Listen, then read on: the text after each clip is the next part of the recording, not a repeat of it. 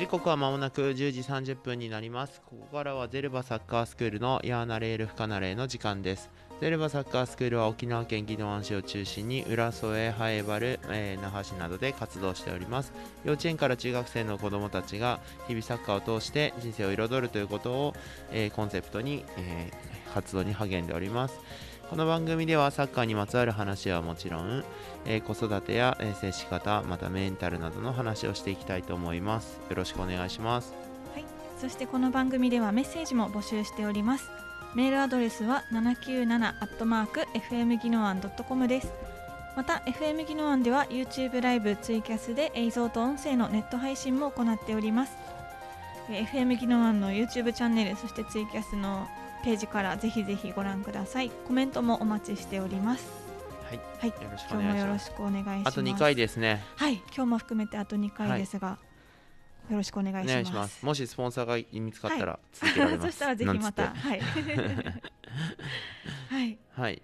この先週の放送の最後に、はい。あの何でしたっけ？ファスティングの話をちらっとしてましたが、はい。今もやってます。継続中というはいことで、まあ今日までなんですけど。今日まで、はい、5日間ファスティング？効果はどうですか？えっ、と大体5キロぐらい落ちました。ただまあ水とかはののせのあれなのではい。あのー多分食べてまた少し戻るみたいなんですけど、うんでもなんか、うん、あのお腹もすっきりしてはい。あのー思ったほど空腹感っていうのを感じなくて。空腹感ってなんかずっと今まで今もそうなんですけどなんとなく食べたいがはい結構食欲っぽく感じたけど、やっぱ全然食欲って本当のあれをまたちょっと違えんだなっていうのがあ分かった感じははしましたね。はい、うん。へえ本当5日間塩と酵素水と水と炭酸水。あーしかも一切取らない感じそうそうそう全然食べしか食べずに、うんうんちょっときつい時期ありましたけどでも途中サッカーの試合も僕はやったりもして、はい、えそんな中で試合も しました。ちょっとだけど。はあはあ。やったりもしました。うんうんまあまあ。えっ、とまあそんなところでしたが、まああの本当になんかた食について改めて考える時間にもなって、うん。やっぱこのその回復食っていうのも前後にあるんですけど、はその準備とかが。うん。でやっぱその時も、えー食べ物は一切、えー肉とかを取らずに野菜中心なんですけど、うんはい。それでもいけるしやっぱこの動植物を、うん。ど動物を特に、まあ、人間たあの過剰に食べてるみたいなの結構あったりもしてて、その期間読んでる本とかでも、うん。だったのでやっぱそういうのも見直すいい機会にもなったかなと。SDGs っていうのをちょっとうちのスクールとしても取り組みたいので、その流れの一つとして CO2 削減とかっていうところにも関係してくるところもあったりして、まあ、食について改めて考えるいい機会には僕はなりましたね。じゃあこれをまたこの子供たちにもそうですね、ちょっと機会があればはい、伝えていきたいかなとは思います。うーん。なるほど。ですね。なん。か今まで体の例えば動かし方とか、はい、あとっていうのでは子供たちになんかこの講座というか、はいはい。やったりする機会はあったじゃないですか、はいす。食について話したことはそうですね。食育っていうのはやったことあるんですけど、その食その食べ物がどうやって成り立っているのかっていうところ、うんはい。今目の前にある食べ物ってどこから来てどういうふうに処理されてか処理加工処理されて、うん。今ここに届いているのかっていうことを考える機会っていうのはもしかしたら全然なかったので、うんまあ、僕はまあ、うん、そういう映画とかも好きで結構見たりもするんでやっぱ知れば知るほど怖くなりますよね本当に。うん。なのにいかに自分たちが無知で食べてなんとなく食べてるかなって、うん。でそしてなんとなく食べ残してるかなとかっていうこともうんうんあるのでやっぱそういうところはもしかしたら今の子供たちには絶対あもしかしたらじゃない必ずっていうか伝えるべきことの一つなのかなって指導者としては少し思うところはありましたね。ううんん、です。な。るほど。はい。でえーとまあ、あと残り2回っていうことで、い。ちょっと今日は、えー、と僕の失敗談というか、はい。をあんま普段喋んないからなんかうまくいってきてるとか勝手に思われちゃうことが多いんですけど全然うまくいってないことがお多いので、はい。まあ本当小学校ぐらいからの失敗談とかを話したらみんなにちょっとみんなっていうのはそのスクール生とか保護者のことも含めてなんかこうちょっとでもためになったらいいなと思ってうて、ん。もしかしたら同じところで今つまずいてる子がいたりするかもしれないるかもしれないのでそうですね、はい。はい。と僕はまずサッカー始めたところからなんですけど、はい。小学校1年生ぐらいからサッカー始めていて、うん。で4月2日生まれなので、はい。僕他の子より体も大きくて足も結構速かったんですよ。うん。だから結構やっぱできることが多くて、はい。まあ、すぐまあ、そのチームの中本当地元の小さな小さな頼朝っていうチームだったんですよ、うん。鎌倉のはい。頼朝っていう、うん。笑ってもいいけど。頼朝っていうチームがあったんですね。そうでそこ超弱かったんだけど、超弱いけからはい。なんかどんどん試合出れて、え1個上の学年の試合とかも出たりして、はい。結構まあ、ちょっと若干天狗にはなっててで鎌倉市って、はい。ちょっとこれ言って怒られるかもしれないけど神奈川県内でも鎌倉市あんま強くなくてですね今も伝統的にそこまでまあ、はい。J リーガーも何人か出てるんですけど、うんうんうん。とはいえそんなに強くなくて、はい。その中ではまあまあ結構点も取れるちゃうし、うん。みたいな。で本当になんだろうガキ大将じゃないけど周りにももっとやれよみたいなちゃんとやれよみたいなミスしたらもうすごい言ってたし、おーえーなんでそんなとこ出してんだがとか言ってて、うん。うんうんでしかも僕がサッカーするなんてお父さんのもこうサッカー経験ほとんどなかったけど、うん。その人手が足りなかったんで、はい。呼ばれてなんか結局なんかお父さんコーチみたいになってて、うん。お父さんもサッカー知らないからとにかく行け行け行けみたいな感じで、うんでまあ、もうベベンチの外ではお父さんでベンベンピッチの中で僕が怒鳴ったり叫んだりしていて まあ見苦しかったと思うんですけど。親子でじゃあちょっと。そうちょっとよくない。牛耳っていた。そうですね鎌倉市の、まあ、同世代であのうるせえやつっていうのはよく知られてたし、うん。うん、多分。で本当なんか今思うと僕は今分かったんですけど、今っていうか本当指導者なんていうか分かったんですけどそのなんでそこでミスしてるかが証拠の時ですよ、うん分かんなかったんですよ、うん。普通にあっちにけ狙って出せば通るのになんでこいつのみんなは取られちゃうんだろうとか。もちろんそれはサッカーの始めた歴とかねうん。そういったものによってそういうことは起こりうるっていうのはもちろん今は分かるんですけど、うん。なんでなのかなってこうしたらこうなるじゃんっていうのをうん。なんでできないのかなっていうのがその当時は僕分かんなくてうん。だからすごいイライラしてていつもサッカーしながら。もちろん楽しいんですよ、はい。自分は。うん。自分は楽しいけどミスした味方に対してはすごい言ってて、うん。でも当然そんなのってチームの雰囲気は良くないしやっぱ僕が怖いっていう子もいたりとかしたりしてて、でそんな折に、まあ、マリノスのパマっていうちょっとあの、まあ、J リーグの下部組織に後々なっていくところに、のサッカースクールに行ってそこの選抜チームみたいなところに来ないかっていう話があって、うん。で入ることになったんです、その4年生の終わりぐらい夏過ぎぐらいから、うん。で終わりで5年生になる時に入るってな終わりぐらいから入るってなった時に最後の方の試合で自分のその頼朝のはい相手とぶつかってうん。骨折しちゃったんですよ、右足を、うん。骨折って言ってもなんか捻挫みたいな軽度の捻挫って最初言われてたんだけど、はい。それそうでもすげえ痛いってなってすごい痛い。でそれも その試合とかその後の試合も頑張って出ちゃったんですよね。ああそのまま。そうなんですよ。気合が入ってたんですよ、あの当時。今だったら痛くてできないって言いますけど、本当に毎試合めちゃくちゃ走ってたんで。はい。なんでか分かんないけど、うんうん。で痛いって思って病院行って最初の病院では捻挫。でもあんまり痛いから調べたら骨折って言って、その時に僕は後から気づいたんですけどやっぱ病院にも良し悪しがあるなっていうのがあって、でそのところではなんか湿布だけしとくとかなんとかなって。であんまスポーツに詳しくないお医者さんだったんでしょうね、うんでうちの親もそんなに怪我が初めてだから子供がサッカーはい。だからとりあえず近くの病院にしか行ってなかったんですよ。あでまあやってたけど僕は試合に出たいから新しいチームで、だから痛かったんですけど、うん。痛くないって言ってずっとボール蹴ってたんですーよ。へ、で試合にも出たりしててででたまに出たりとかしてたんですけど、やっぱり痛いし、うん。怖いしーうん。で新しいチームで慣れてないし、うんでやっぱ新しいチームやっぱみんな上手で、うん。そんな僕の痛い足ぐらいでできるぐらいはうまくうん通用するような感じじゃなくて、もうみんな上手で,、はい。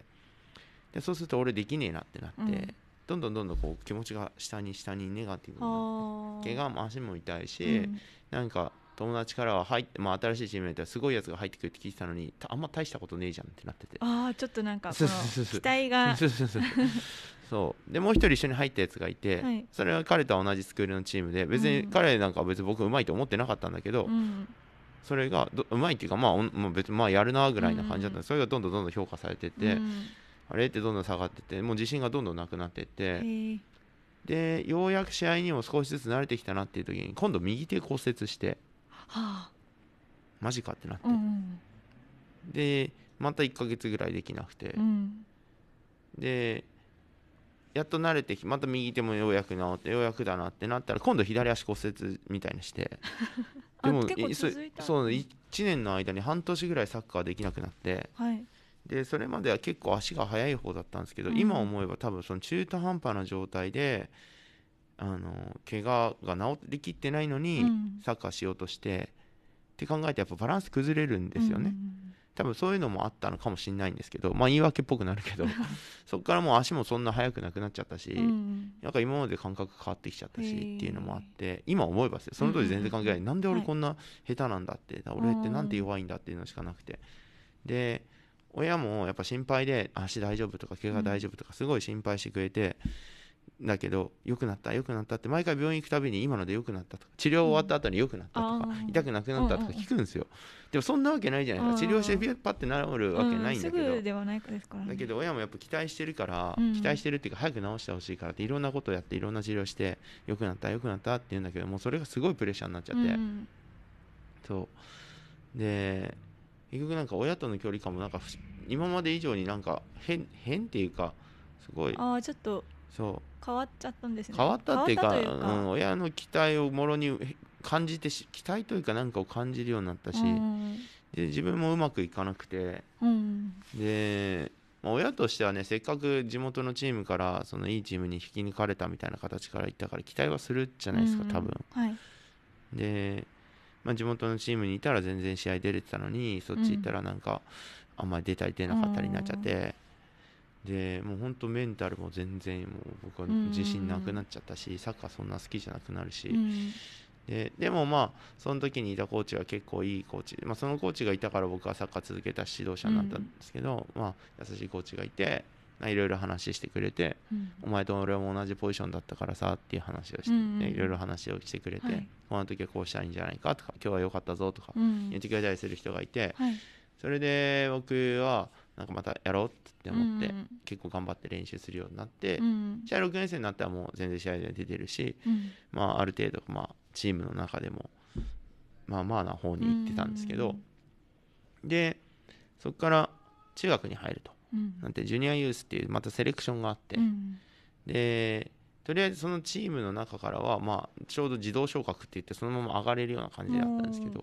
で新しく入ってる子たちがやっぱりもう中学生になると僕すごい背ちっちゃかったのでうん。体が大きい子たちがいっぱいいて、はい。で足も速いしで今後あの石川直弘っていう今でも超有名なんですけど、うん元にあこの間まであ、はい。ま、日本代表だったりしたっていう、同級生もいたりしてでそのその彼以外にも本当に上手な子何人もいてうんっていう中に入ってて全く本当に試合にか本当にかもう出れなくなっちゃって、へー。でお前なんか別にいなくてもいいんだよぐらいのことコーチにも言われたし。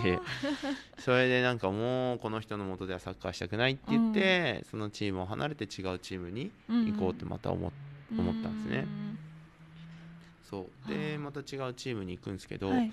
そこではなんか今まではそのサッカーって考えてやるスポーツなんだよっていうのはあったんですよ。うんうん。だけどなんかもうはやたくさん走ってたくさん気合い入れて勝つみたいな感じのチームで、はい。なんかあれ俺が知ってるサッカーと違うなってなっちゃってあなんだろうっていう戸惑いがずっとあって結局なんかまあ今思えば本当言い訳になってるなと思うんですけどちゃんと自分のこと考えてなかったし、なんとなくあそこが強いとかこっちがいいとかっていう情報だけでーちょっとこのレベルの高さとかでそうそうそうそう。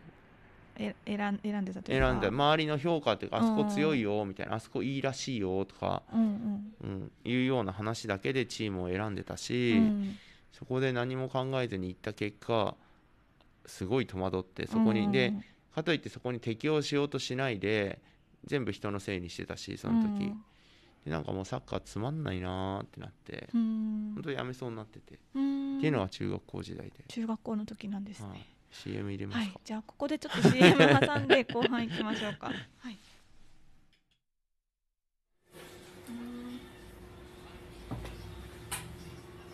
大丈夫すごい落ちた。ことがやっぱりあるんですね。いっぱいあるよ。しょっちゅう落ちてダメ全然サッカーエリートじゃないから。ー。社会カーエリートに憧れてた人ですか全然じゃ小学校の時と中学校の時で全然あれですね立場も変わってます、うん、そうなんですよ後半は中学校なんでだそうどうしようこれ上がる話がないかもしれないね。多分失敗した話でも全然た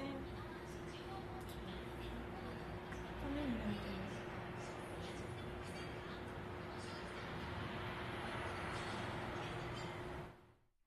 さあ時刻は10時45分を回っております。ゼルバサッカースクールのやなれるふかなれここから後半ですね。はい。今日は仁田水さんのあの失敗談をそうですね。いろいろお話しして。失敗談失敗失敗談、まあ、これまでのそうそうダまあ、メダメサッカー。経験 サッカー人生のお話を聞いてたんですが、中学校になってもサッカーやめようかなって思ってたっていうところで前半終わったんですけど。そううちの僕が行ってた中学校サッカー部がなくてうん。あのバスケ部とかでみんなだから小学校の時サッカーやってた友達はほとんどみんなバスケ部とかに入っててサッカーないからサッカーやってなかったんですよ、うんで僕だけそのちょっと離れて電車に乗って3 4 0分ぐらいのところに行ってて大体通うのに1時間ぐらいかけてやってて。うん。でそこでやっぱそこでも結局そのチームにいるのもそのチームの練習場所に近い子が多くてみんな小中結構一緒だったりするんですよ、だから僕あそれは小学校のマリノスの時もそうだったんですけど、どこでもみんな近場の友達がいるけど僕だけいなくていつも、はい、やっぱ結構寂しいんですよね、うんそれって、ね。いつも帰り一緒とかがなくて。うん、そうそうそう、はい。そういうのも結構あったのかなって今思えばあるけど、ういんやそこそういう環境でもやっぱ乗り越えてる選手はたくさんいるから、まあ、うんそういう強さはなかったんだなって。でまあたまに中学校の時もやっぱいい声の試合に出させてもらったりとかする時もあったんですけど、だんだんだんだんなんかそのチームの色に染まれずに結局もうほんと中3の時とかずる休みとかするぐらいになって最後とか全然行きたくないっていうのがあって、うんうんだけど入る時にその監督の人とマリノス一応辞めてくるんだからうちに来る以上3年間ちゃんとやあの絶対辞めないって約束できるかって言われて、うん。それ約束しますって言って入ったんですけど、はい。だからその人との約束がその人はちょいちょい声かけてくれて、うんうんうんその人がいるから僕は続けようっていう伊勢さんっていう人だったんですけどはい。で続けててで親も親のまあやっぱりその小学校時代に送り迎えとかすごいしてくれてたから、うん。ここで僕はサッカーやめるってなんか親が悲しむなみたいなのがあって。うんって考えたんですね。そうですね。それでまあなんとか続けてましたね、うーん。そう。でもそこにはもうなんか自分のやりたいっていう気持ちよりは周りのそう。この人のために続けなきゃみたいな。そう。ちょっとそういうのもあったかもしれない。だから何が良くて何があの時に違う道に行ってたらどうだったのかなとかも思ったし、うん。別にそれがいいとか悪いとかじゃなくて、はい。今では、うんなんだけどそういう時期もあって。うん。で高校にドイツの日本人学校のこういうところがあるよって言って僕その自然保護にも興味が、うん環境保護とかもすごい興味があって、その頃からあったんですか？たん。ですよ。ずっと小学校の時もなんか森林伐採とかの自由研究みたいなのやった時にそういうのすごいなんか大事だなって思って、っはいていうのがすごいあってだから僕も将来どっかでそういうのをもうちょっとやりたいなとは思ってるんですけど、い、つかわかんないけど、うん。じゃあで高校。そうそうそう。であとはドイツサッカーの指導の勉強もすごいできる場所っていう、うんはい。日本のライセンスの元ってドイツなんですけどその当時まだそこまで行ってないぐらいだったんで、うんドイツの真似しているぐらいの時期で。で行ったらなんかそういう勉強もできるって話だったんで、で行ったんですよ、はい。でドイツの日本人学校ってもう要は日本人の寮で、はい。うん。えードイツ語も勉強するしでサッカーは、えー郊外の,、まあそのブレーメンっていううんところに行ってうん。サッカーできたんですけど、はい。あ外にサッカーしに行く以外は基本日本の学校とそんな変わんなくてドイツ語はあるぐらいであとははいドイツ人が周りにちらほらいて食堂のおばちゃんがドイツ人だったりとかそういう感じなんですけど。日本人の寮の中での会話はもう日本語会話ではもちろん日本語うんだったんだよね。でその時もあ僕は結構みんなサッカーしに来てるって言うけどそんなサッカー好きだけどうんすごい上手いわけではなかったんだよね、うん。そしたらなんか僕が割と上手い方になっちゃって、はい。なんかすげえみたいになって。おうそうそうそう、高1高2高3で3年3一応その日本人の部活のチームもあったんだけど、そこにも入ってたんだけど、うん。でもなんかまたそんで行ってすぐ怪我するし俺。うん。次どこ怪我したんですか？足首。あ足。そう。その時のはい。高校のサッカー部の先生が今実はベレーザっていう、はい。えっ、と日本の今女子で一番強いチームの監督ん。がサッカー部の先生だったの。はそう。でその途中いろいろ話し聞いてもらって、はい。ででなんだろうななんだなんて言えばいいんだでじゃあまたちょっとこの上のなんだろうこれ。ちょっとうまい側にそうそうそうななったんだけど、うんうんでも僕の中でも全然そんなことなくても、はい。俺よりうまいやつも山ほどいるし、全然そんな気持ちはないし、うんうんうんうん全く。いやいやいやいや、俺なんか下手だから。小学校の時と比べたらじゃあこの天狗の感じはもうなく全なったで結局その郊外のブレーメンのチームに入ってやったりするんだけど、まあその中ででもすごい良かったなって思うのはその僕もよく言うんだけど自分のカテゴリーに合ったそのチーム、うん。自分の今のレベルで入れるところがあって、はい。それがブレーメンのユースの2軍だったんだけど、うん。まあ、その1軍を目指してはいたんだけどそこは1軍へのハードルはなかなか高くて、うん。やっぱり。でいやまあその中ではまあ本当にサッカー楽しかったし、うん。すごい。そのなんだろうな大会的な話はなくやっぱりいつもみんなサッカー真剣にやるし、うん。練習中にめっちゃ喧嘩とかするのよ、うんまあ、どこ出してんだよみたいな、うんせやお前こそなんだよみたいなお前どこお前こそどこ見てんだよみたいな、うんだけど終わったらみんなすごい仲良くしてて、うんうん。あなんかすごいサッカーってこうやってやるんだって思って、うん。で試合中に僕相手のトルコ人と喧嘩して なんかもう、はい。喧嘩っていうか殴り合いに喧嘩じゃなかったんですけど、うん。もうガンガンぶつかって、うんうんうん。で監督も抑えろみたいな、はい。向こうの監督もそいつに抑えろみたいな。そしたらその選手交代させられてうん「えざまあみろ」とか思ってたら で終わってロッカー出ようとしたら、はい。待ってるんですよ。外に、はい。やばいと思って、うん。トルコ人だし、うん。ちょっと黒くて強そうなんですよ、俺はしやばいなと思ってたらそしたら終わっごめんなはい。みたいな、謝りに来て。うん。すごいなんかこの人間的にすごいなと思って、はいこうやって人間力みたいなそうそうそう、っん。ていうのがあるんだとう思って、んで日本なんてその中国でもあったけどなんかはい喧嘩みたいになって、お前ちょっと裏来いみたいななったりするうんから、うん。まあ実際そこまでいかなかったけど、はい。なんかそういうふうになったりも、お前なんだよみたいな、はい。誰だ、まあ、覚えておけよみたいになったりするから、実際それやったら大問題なんだけど、はい。でそういう話になるけど、うんそこではちゃんと謝りに来るってすごいなって、うんやっぱスポーツなんだなっていうのをすごい感じて、そのチームメイトとのやり合いもそうだし、うんこの彼らは本当にサッカーをするときは本当にサッカーとして真剣に向き合ってるし、うん。そうじゃないところはそれとは別に。うん。で年に1回みんなで集まってお祭りみたいにしたりするんだけど、うん。その時はもう本当バカ騒ぎしてうん。大騒ぎするんだけど、そういうなんかこう生活に根付きなんだろうな。本当にサッカーがいろんな部分で情緒とか人生経験とかうん。感性を豊かにしてくれる場になっていて、うん。で僕のチームはドイツ人と日本人の僕がいて韓国人のハーフがいてアルジェリア人がいてガーナ人がいてカナダ人がいて、えートルコ人もいてオーストラリア人じゃあ,、えー、とあいつあれもあいつなんだっけな。セルビアから来てるやつもいて、うんみんなみんな移民で、うんうん。やっぱそれぞれみんな国のことを思ってて、うん練習の時にはその国の母国の代表のユニフォームとか着てるんでね本当は着ちゃいけないんだけど、うんうんチームのユニフォームがあるから、はい。それ着なきゃいけないんだけど、うんうん。たまに着てきたりすはいるわけよ、そんだけそのイランあイラン人もいたな。イラン人だった。アリダエイっていう選手が伝説的なヒーロー、まあ、カズみたいなのがいるんだけど、ううそのアリダエがすげえみたいなずっと言ってて、んんそうそう、そういうなんかアイデンティティ国へのアイデンティティみたいなのを僕はそこで学んで,、うん。で僕自身もやっぱおい日本は弱えなみたいなことやってすごいムカつくし 日本代表の試合見て日本弱えなとか思いながら見てるけど、うんうん外人外国に行った時に日本弱えなって言われるとめちゃくちゃ腹立つ。ですよねやっぱり。めちゃくちゃ腹立つ、はい。ふざけんなよとか思いながら、まあでもそういう中になんかこうサッカーの良さってすごいいろんな良さっていうかなんだろう。サッカーのたをうん楽しさとか興味とかを多面的にというかいろんな方向から見ることができたのね、うん。でさらにそれがドイツ語だし、はい。最初僕は全然できなくて英語拙い英語を話しながらうん。英語を話せるトルコ人のやつが通訳みたいになって、うん。頑張って話してうん。ドイツ語教えてもらっても本当悪口とかしょうもない話ばっかりしてで一緒に電車バス行ったり来てるうちにだんだんちょっとずつ僕はうん。